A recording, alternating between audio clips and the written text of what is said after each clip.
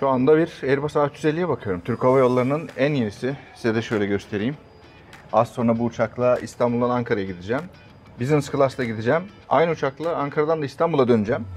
Bu videoyu da uçak için açtığınızı biliyorum. Çok fazla konuşmayacağım şimdi. Uzun zamandır Airbus A350 binmek istiyordum. Araya pandemi girdi. Neler girdi neler. Ama e, kısmet bugüneymiş. Yalan yok ben bir yurt dışı uçuşunda denk gelir zannediyordum ama İstanbul'dan Ankara'ya Airbus A350 ile gitmek de varmış kaderde. Şimdi hemen uçağın içine gidiyoruz. Hepinize iyi seyirler.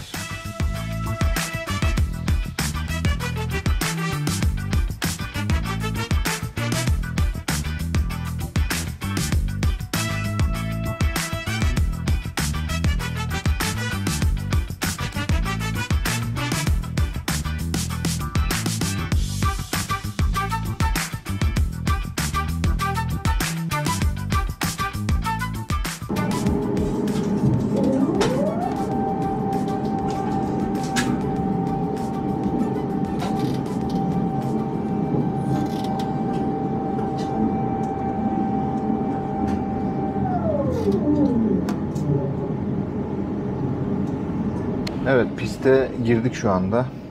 Business kabini yani içinde bulunduğum business koltuğu ve 787'lere göre çok rahat bence. Ee, oldukça geniş bir yaşam alanı var business'ta. Ama mesela Singapur hava yollarında şu ortada kabin başüstü dolapları yoktu. Ortam daha ferahtı. Bunu da koymuşlar. Bu arada take off roll. Bakın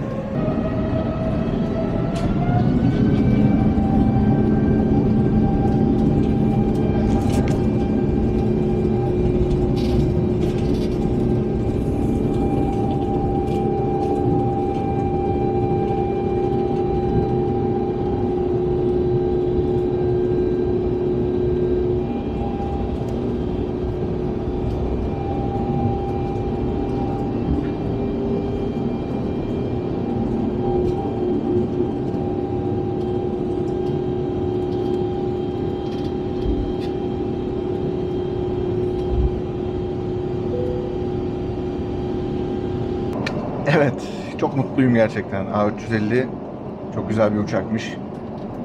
Yani iyi ki gelmişim ve iyi ki bu uçuşa katılmışım. Ee, çok üzülürdüm açıkçası. Ee, bana birileri anlatsaydı abi uçtuk çok süperdi diye. Ee, 350 ile uçmayı çok çok çok istiyordum. Yurt dışı bir uçuşta denk gelir diye düşünürken yurt içi Ankara'ya gidiyoruz. Bakalım rotamızın yarısındayız. Arkadaşlar şunu söyleyeyim. Şimdi ben e, bu uçakla gidiyorum ve bu uçakla geri geleceğim. E, business'ta gidiyorum. E, hem business'ı görmek istedim hem ekonomiyi görmek istedim. E, business'ta gideceğim, ekonomiyle döneceğim. E, şimdi business'ta gidiyoruz. Buradaki yaşam alanını size şöyle kısaca anlatayım. Çok rahat. Yani bu uçakla Amerika'ya gözünü kapat git yani. Ee, tabii ki bu business Ankara için falan çok gerekli şeyler mi? Hayır ama yaşam alanı çok geniş. Yani buradan dediğim gibi Amerika'ya gözünü kapat git. Hiçbir şey olmaz ama yurt içinde çok gerekli mi bilmiyorum. Ekonomiye de bakacağım çünkü. Hatta onu da belki bu videonun sonuna eğer çok uzamazsa video, bunu sonuna eğer uzarsa başka bir video olarak paylaşacağım. Şu an için bilmiyorum ama siz bu videoyu izlerken biliyor olacaksınız bunu. Şimdi buradaki kabinden çok kısaca bahsedeceğim size. Ee, can alıcı özelliklerinden. Burada okuma ışıklarım var. Şöyle bakın. Hepsini açayım şöyle. Gördünüz mü? Hepsi açıldı. Tek tuşla kapanıyor. Hemen bu tarafta bir bölmem var. Bunu kilitleyebiliyorum böyle. Ee, buraya bir şeyler koyup ayrılacaksam. Burada bir askı gibi bir şey var ama çok ne olduğu hakkında çok bir fikrim yok. Ee, bu bulunduğum, oturduğum yaşam alanının kontrolleri burada. Buna basarsam beni rahatsız etmeyin diyor. İşte buna basarsam şu koltuk yatıyor kalkıyor. Hemen bir göstereyim onu da. İşte tepe üstü lambası buradan. Baş üstü lambası yanıyor. Ve sönüyor. Şimdi bir daha bastım. Bakalım. Buradan da var bu arada yani. Aa bak benim HEPA filtrelerim kapalıymış. HEPA filtrelerimi açayım. Şöyle oh. Şu anda evet. Virüsten arınıyorum. Burada kulaklık çıkışları var. Onun haricinde burada şarj bölümü var arkadaşlar. Şarj ünitesi. USB şarjı. İşte tabii bütün dünya standartlarına uygun şarj girişleri burada var. Ee, onun haricinde bunu bana girerken vermişlerdi. içinde yok. Burada bir aynamız var. Merhaba. Aynamızın haricinde burada bir askılık var. Yani işte şimdi business uçarsanız bu askılık çok işinize yarayabiliyor. Çanta asıyorsunuz işte ne bileyim takım elbise asıyorsunuz vesaire. Burası ayak uzatma yeri. Koltuk yatak haline geldiğinde ayak buraya uzanıyor. Onun altı da kabinin el bagajlarının koyulduğu yer. Ve burada da kendinize ait bir pencereniz var. Buradan dışarıyı böyle arkadaşlar görebiliyoruz. Şimdi burası cam kenarı business. Ortadaki business'ta da durum şöyle. Aralarında hatta şöyle kalkayım gideyim. Şimdi burada yandakiyle görün normalde bağlantınız kesilebiliyor. Nasıl? Şöyle işte. Bunu kaldırıyorsunuz ve bağlantımız kesildi. Bu arada bunun yatak olmasını göstereyim size. Şuna basarsak hızlı çekim alacağım arkadaşlar.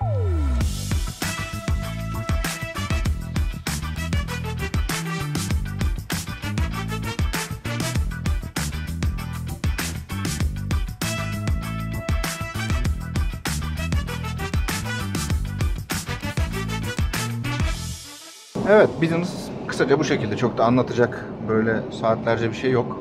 Bu arada uçakta tek değilim arkadaşlar spotting yapan. Bak bu var casuslardan.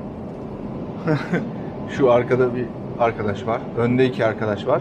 Yani sadece business'ta bir dört kişi falan var herhalde. Uçak çekmek için gelmiş uçak meraklıları. Buradan da beni izliyorlarsa kendilerine selamlarımı iletiyorum. Beni beni direkt canlı izliyor.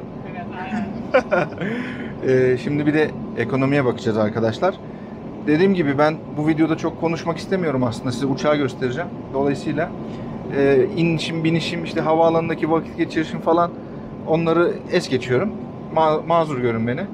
E, zaten bir dünya video yaptık havaalanlarıyla alakalı. E, o videoları şimdilik izlemenizi öneriyorum. E, şimdi bir de ekonomiye gidelim bakalım. Ekonomide koltuk aralıkları biraz daha dar. Yani ben şöyle 1.85 bir adamım. Oturduğum zaman dizimin önünde bütün koltukların dik olduğunu varsayarsak şu kadar bir boşluk kalıyor. Ama rahat. Onu söyleyeyim arkadaşlar. Şimdi burada ne gibi imkanlar var onu göstereceğim size. Öncelikle şunu söyleyeyim. Multimedya çok çok güzel. Benim yanımdaki iki koltuk boş ve uçaktaki kameraları böyle önümüzdeki ekrandan izlemek çok keyifli. Bak ben ne yaptım? Şöyle göstereyim. Şimdi buradan uçağın kuyruk kamerasını açtım. Buradan önü gösteren kamerayı açtım.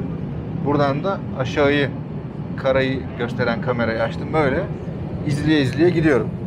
Onun haricinde burada e, yine şarj portları var.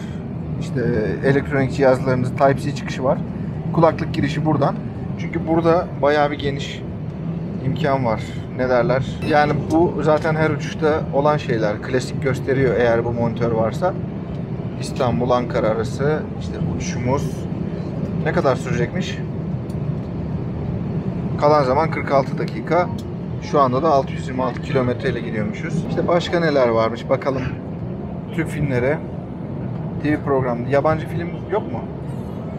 Belki iç hatlarda sadece şey vardır bilmiyoruz. Evet, burada da yine bu ekranın kullanılması için kısa yollar. Gerçi zaten kısa yol değil, bir tek bunlar var. Business'ta biliyorsunuz ayrı bir kumanda ünitesi vardı. Buralarda yine kulaklık girişi, e, işte şarj girişleri, Type-C girişi var. Çok iyi. İşte başüstü lambasını, okuma lambasını yakıp söndürüyor bu.